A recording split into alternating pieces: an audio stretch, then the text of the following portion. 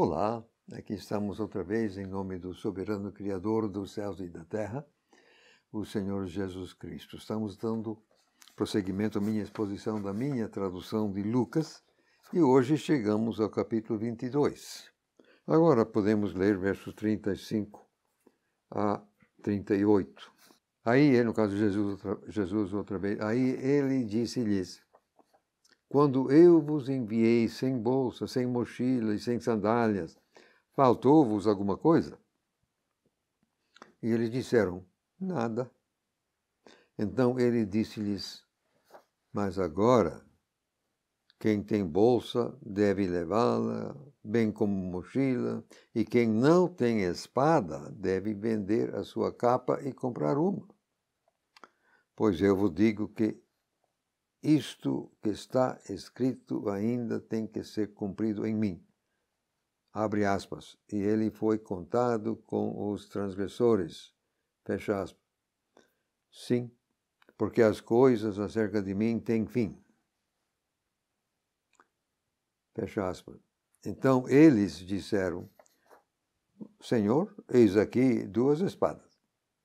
E ele lhes disse: É suficiente lembrar, por favor, que aquela quando Jesus mandou os doze de dois em dois na Galileia, depois ele mandou os setenta de dois em dois na Judeia, aqueles giros eram iam ser rápidos, provavelmente não mais do que duas semanas, e para aquele efeito Jesus mandou eles saírem sem nada. Mas agora ele muda. Aquilo foi naquele momento naquela ocasião, aquela finalidade, não, aquilo não era uma norma, aquilo não era um exemplo para nós hoje. Não, absolutamente. Agora Jesus diz, verso 30, 36, agora quem tem bolsa deve levar também mochila, enfim, etc. Esse negócio, um tanto de comprar espada, tem dado nó na cabeça de uns e outros como o que, que, é isso? Para que comprar espada? Espada. o que, que para que serve a espada? Duas coisas. Alguém sendo você alguém te ataca, você pode usar a espada para te defender. Ou então você querendo atacar também. Mas a espada é arma, arma para ferir, a arma para matar. E o que, que é isso? A resposta que eu dou é a seguinte: se você está visivelmente armado, isso tende a desencorajar os que pensam em te atacar ou prejudicar. Digo no que muito melhor para nós é ter poder espiritual e saber como utilizar esse poder. Isso aí, aliás, é um assunto muito necessário neste, neste, neste dia e nestes, nestes dias. Eu poderia contar a experiência de um ex-colega meu trabalhando com índio no, no, no Amazonas, mas acho que não vou me deter com isso agora. Mas o fato cruel é que a presença de uma arma, de fato, é, dá pausa em outros que, porventura, estão, estejam pensando em te atacar. Nem sempre, vai, nem sempre vai resolver. Porque se você estiver portando uma arma, você tem que estar de, preparado para utilizar essa arma. Mas no Antigo Testamento é muito claramente dito que a pessoa tem o direito de autodefesa. A pessoa tem o direito de defender a, pessoa, a sua própria pessoa e a sua casa e os seus pertences. Isso está no texto. Mas eu digo outra vez que para nós a melhor coisa agora é saber fazer uso do poder de Deus. Que Lucas 10 e 19, Jesus dizendo: Eu vos dou a autoridade para pisar cobras e escorpiões, e sobre todo o poder do inimigo, e nada vos fará dano algum. Então, nós temos o poder de Jesus, que é maior do que o poder de Satanás, para nos defender. Veja também depois, é, acho que é Efésios capítulo 2, o último verso, o poder de Deus está ao, ao nosso alcance para fazer mais do que sejamos capazes de pensar. A dificuldade é aprender como fazer. Aí que está a dificuldade. Mas que tem? Tem. Neste momento, eles dizendo, ó, oh, tem duas, tá, tá bom, tá suficiente para aquele momento, porque não era a espada que ia resolver o caso de Jesus naquele momento. Mas ele declara que as escrituras a respeito dele têm que ser cumpridas. Este dizer, ele foi contado com os transgressores, está exatamente em Isaías capítulo 53 e verso 12. Agora, podemos prosseguir. Eu vou ler o que está aqui. Depois, assim, quanto à traição e a prisão, mas tem também uma harmonização que eu vou ler. Mas primeiro, isto aqui é antes, versos 39 a 46.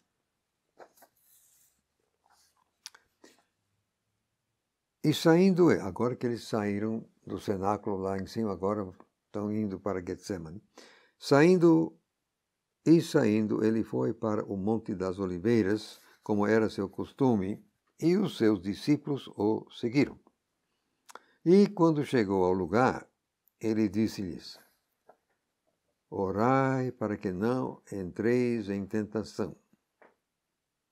Aí ele afastou-se dele cerca de um tiro de pedra e, pondo-se de joelhos, orou, dizendo: Pai, se pudesses tirar de mim este cálice, todavia não seja feita a minha vontade, mas a tua. Apareceu-lhe então um anjo do céu, o fortalecendo, e estando em angústia, ele orou com concentração total. Aí o seu suor tornou-se como gotas de sangue caindo ao chão. Quando ele levantou-se da oração e chegou até os discípulos, ele os encontrou dormindo de tristeza. E ele disse-lhes: Por que estáis dormindo? Levantai-vos e orai, para que não entreis em tentação. Nós aqui estamos diante de um momento crítico, realmente o mais crítico, digo eu, na experiência toda do nosso Senhor Jesus Cristo. Nós sabemos de outros relatos que nove dos discípulos ficaram, no caso não, oito, porque Judas não está mais aqui.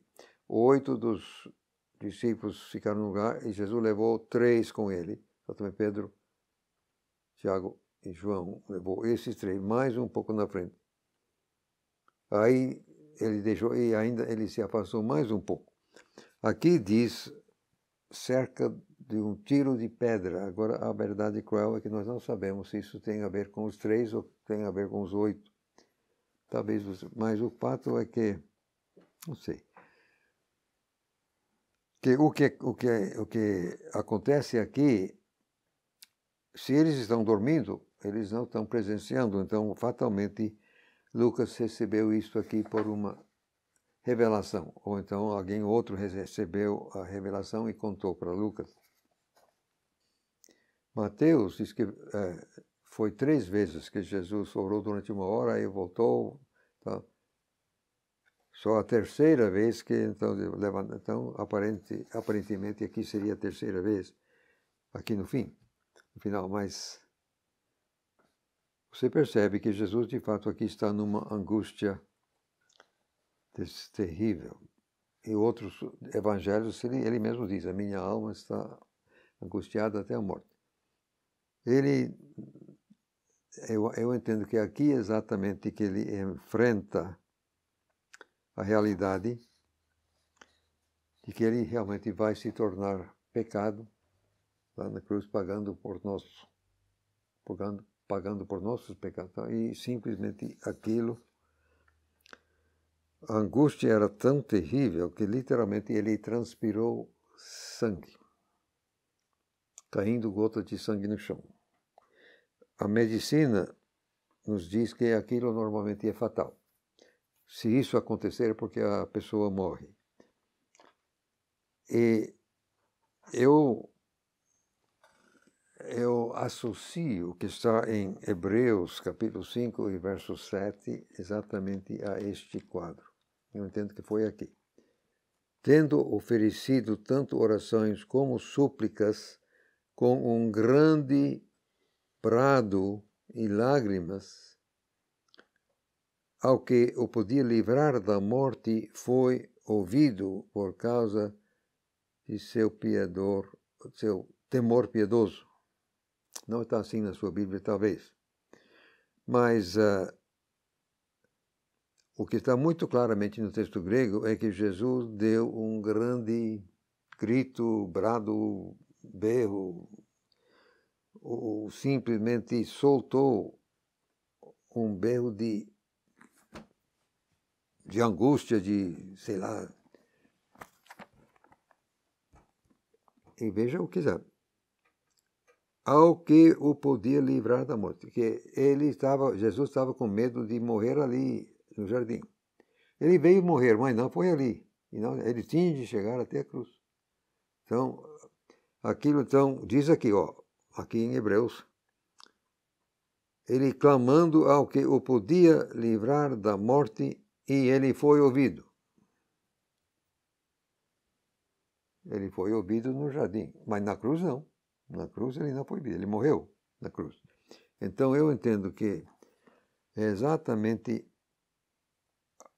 a respeito de Getsemane e Getsemane que Hebreus está falando.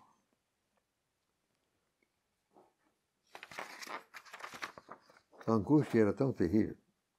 O próprio pai manda um anjo para o fortalecer. O pai ouviu o clamor dele. Não era para morrer ali, não. Podia morrer ali, não.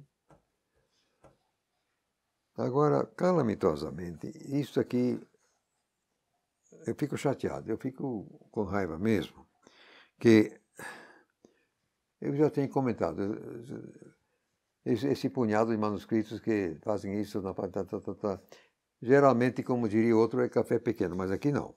Aqui nós temos um problema é que o texto grego eclético, ora em voga, coloca os versos 43 e 44 inteiros entre colchetes duplos, que para eles significa que Lucas não escreveu aquilo. E eles fazem isso seguindo 1,5% dos manuscritos gregos de má qualidade, objetivamente e comprovadamente assim. Ora, ora, ora.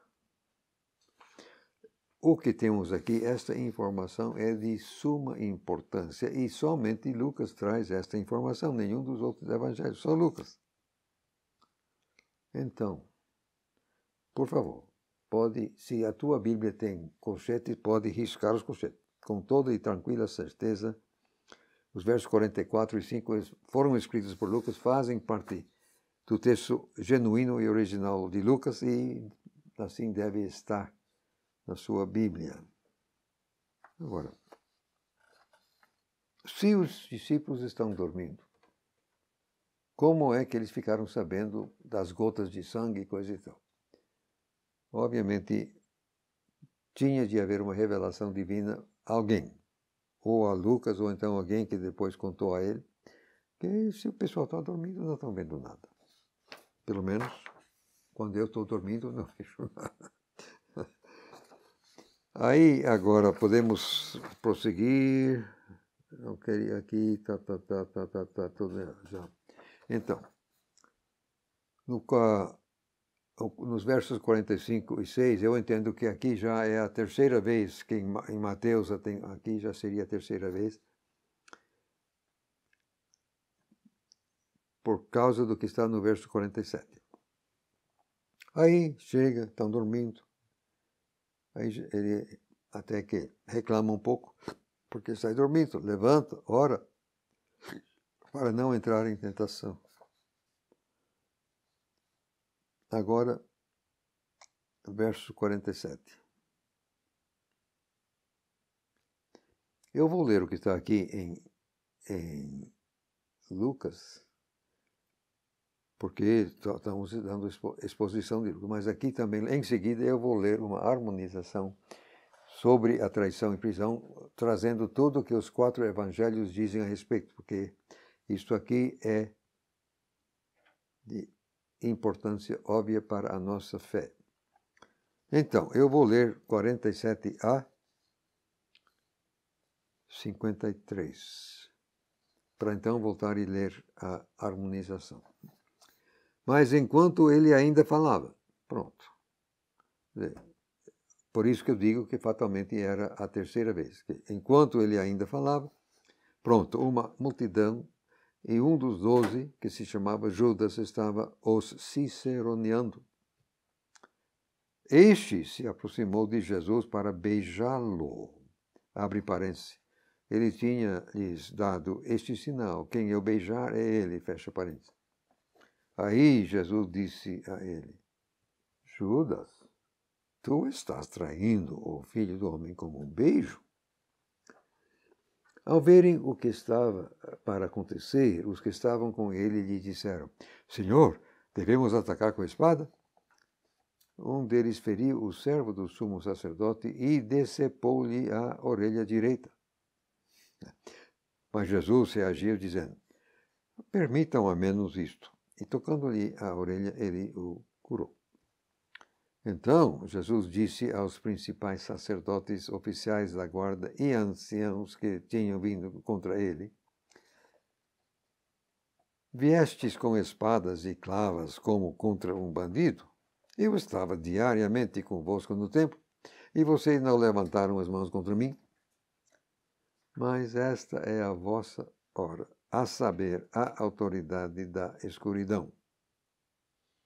Aqui temos um, um caso menos, menos sério, mas ah, terminando o verso 47,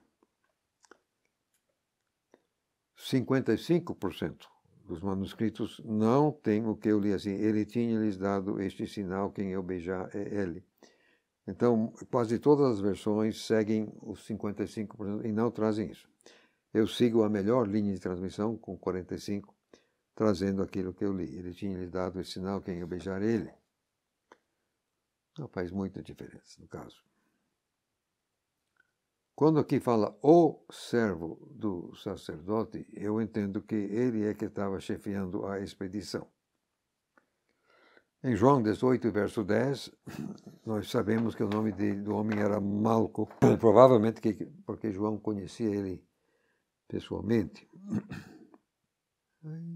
Realmente, Jesus, não sei se ele estava querendo que Judas se compenetrasse, não sei, mas ele disse, mas você vai me trair com um beijo? Logo um beijo? Aí então o problema da espada, e o Pedro sabemos por outro, por João, mesmo sabemos que foi Pedro. E obviamente o Pedro, ele estava com uma das duas espadas e ele não sabia usar a espada, ele mera, só consegue decepar uma orelha, no caso diz aqui a orelha direita do homem. Unicamente é, Lucas nos, nos fornece o que segue no verso 51. Permitam ao menos isto, dizendo ao pessoal, aí ele tocou e ele curou. Convenhamos que se Jesus não tivesse curado aquela orelha, a situação teria ficado pior para Pedro, e principalmente quando ele foi lá, lá embaixo na casa de Caifás. Mas Jesus é, resolveu esse problema, pelo menos curando o homem. Quero só comentar mais uma coisa antes de ler a harmonização. Exatamente a, a última parte do verso 53. Esta é a vossa hora, a saber, a autoridade da escuridão. A escuridão diz respeito ao reino de Satanás. Então, Jesus está dizendo que era a hora de Satanás. Mas, quando ele diz esta é a vossa hora, Jesus está declarando que esse pessoal fazia parte do reino de Satanás. É a vossa hora, é a hora de Satanás. Então, eles que estavam ali, estavam, eles eram de Satanás, faziam parte do reino dele, que deveria ter levado uns e outros a contemplar mais tarde. Agora, antes de prosseguir com as negações de Pedro, eu vou ler aqui, não é, não é muito grande, não, é uma página e meia, talvez. É tão importante isso aqui que eu vou ler uma harmonização dos relatos da traição e, e prisão. É o número 34 no apêndice, quem tem isso pode ver com calma. Então, número 1, um, a turma chega. Isso está em quatro evangelhos. Os quatro evangelhos meramente afirmam o fato. Só Lucas enfatiza que Judas estava servindo de Cicerone. Segundo, Jesus derruba a turma. Isso está unicamente em João, verso, capítulo 18, versos 4 a 9. Eu entendo que aquilo foi tipo um cisto de intervenção sobrenatural para deixar claro que o pai não perdeu o controle dos acontecimentos. Eu digo cisto porque depois a turma deu prosseguimento como se nada tivesse acontecido. Agora, uma pessoa liberta de controle demoníaco frequentemente não se lembra das coisas que fez enquanto controlada. O caso aqui pode ser ter sido parecido, só que do outro lado, no caso. Número 3, o beijo. Mateus, Marcos e Lucas falam disso. Eu vou agora oferecer uma harmonização dos três relatos, só do beijo. Ora, o seu traidor tinha dado um sinal a eles, dizendo: Aquele que eu beijar é ele, agarrem ele e o levem com segurança. Então, quando chegaram, Judas se dirigiu diretamente a ele. Aí Jesus lhe disse: Amigo, que te traz aqui? Jesus disse: Salve, Rabi, e o beijou. Aí Jesus lhe disse: Mas Judas, estás tu traindo o filho do homem com um beijo? Até aí. Você lendo os evangelhos, quer dizer, Mateus, Marcos e Lucas separadamente, você pode achar que a coisa não bate, mas bate, é só colocar as peças do quebra-cabeça. Quatro, eles agarram Jesus. Isso está em Mateus 26, 50 e Marcos 14 e 46. Judas serviu Cicerone, mas parece-me que era Malco, o servo do sumo sacerdote, que estava comandando a operação. Talvez ele tenha sido o primeiro a pegar em Jesus, razão pela qual Pedro bateu nele, ou feriu. Foi o fato de agarrar, alguém literalmente agarrar Jesus que provocou a reação que seguiu. Era exatamente a espada de Pedro. Acontece que todos os quatro evangelhos mencionam essa espada. E eu, portanto, agora vou oferecer outra harmonização exatamente os quatro evangelhos a respeito da espada. Lendo. Quando os que estavam ao seu redor viram o que estava para acontecer, eles disseram a ele: Senhor, devemos ferir com a espada? Aí Simão Pedro, estando com a espada, a sacou e feriu o servo do sumo sacerdote, decepando-lhe a orelha direita. Abre parênteses, o nome do servo era Malco, fecha parênteses. Então Jesus reagiu dizendo: Permita ao menos isto. E tocou a orelha do homem e o curou. Aí Jesus disse a Pedro: Coloca tua espada de volta a seu lugar, pois todos que tomam espada morrerão por espada. Será que tu realmente imaginas que eu não poderia apelar para meu pai agora mesmo e ele colocaria ao meu lado mais que doze legiões de anjos? Mas como então se cumpririam as Escrituras no sentido de que tem que acontecer desta forma? O cálice que o Pai me tem dado, não terei de bebê-lo. Até aí. Não tem nada aqui ah, que exige comentário, a não ser as doze legiões de anjos. Agora,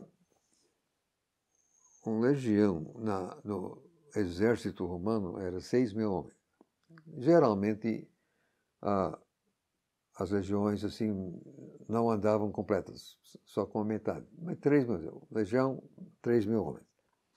Doze vezes três, você tem 36 mil anjos. Eu acho que seria tranquilamente suficiente para controlar a situação, você não acha?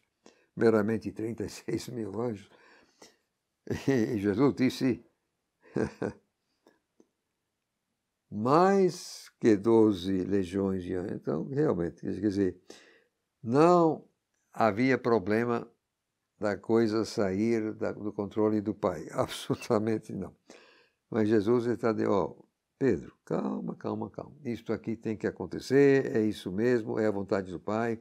O cálice, então, chega, sossega aí. então, ah, podemos prosseguir. Número 6. Agora Jesus se dirige à turma. Isso está em Mateus, Marcos e Lucas. Outra vez não bate totalmente, então eu vou oferecer outra harmonização dos três. Lendo. Então Jesus disse aos principais sacerdotes, oficiais do templo e anciãos que tinham vindo com, contra ele: Saístes com espadas e clavas como se contra um bandido para me prender? Eu ficava sentado com você diariamente no templo ensinando e vocês não me agarram. Mas tudo isso aconteceu para que as escrituras dos profetas se cumprissem. Esta é a vossa hora. Isto é a autoridade da escuridão. Número 7. Os discípulos fogem. Está isso em Mateus 26 e Marcos 14. Simplesmente afirma um fato. 8. Jesus é levado embora. Isso está em todos os quatro. Os quatro afirmam o fato. Os primeiros três estão essencialmente de acordo, mas João oferece alguma informação nova, aliás, como é de seu costume. Primeiro, tinha um destacamento romano com seu comandante ali no jardim. O vocábulo aqui, regliarchos, diz respeito a um comandante de mil homens, ou de uma coorte de aproximadamente 600 homens. Este teria, de ser, este teria de ser um oficial romano de alta patente. Só teria um deles em, em Jerusalém. Como teria sido possível fazer com que ele participasse da operação às duas da madrugada? Obviamente, Pilatos tinha sido informado e estava participando. Segundo, João ainda. Eles o levaram a Anás primeiro, porque ele era o sogro de Caifás. Mas a verdade, o motivo maior é que Anás era o sumo sacerdote de fato, segundo a lei, e o ofício era vitalício. Então, ele era o sogro de Caifás, que era o sumo sacerdote naquele ano. Para efeito político, lidar com Roma, eles tinham de trocar cada um. Comparando os registros paralelos, fica claro que todas as negações de Pedro, bem como a farsa do julgamento, aconteceram no palácio de Caifás. De sorte que Jesus, foi levado a Caifás após ter sido apresentado a Anás. Aquele intervalo, bem que poderia ter sido utilizado para convocar o conselho, que eles não iriam querer abandonar suas camas sem necessidade. Deve ter sido entre três e quatro da madrugada. Então, até aí, a, a minha harmonização. Então, é, vou parar por aqui, para então dar prosseguimento no próximo vídeo.